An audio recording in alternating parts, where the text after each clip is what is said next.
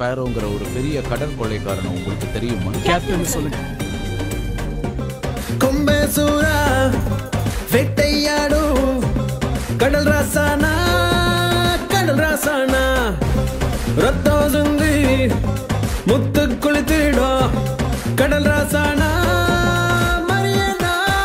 நான் ஒத்தையில பாடுறேன்னு தன்னால இந்த பழைவன பாறைகளின் முன்னால முன்னால. நான் ஒத்தையில படுறேன்னு தன்னால. இந்த பழைவான பாறைகளின் முன்னால வெறும் புத்தி கெட்ட பாவிகள் நடும்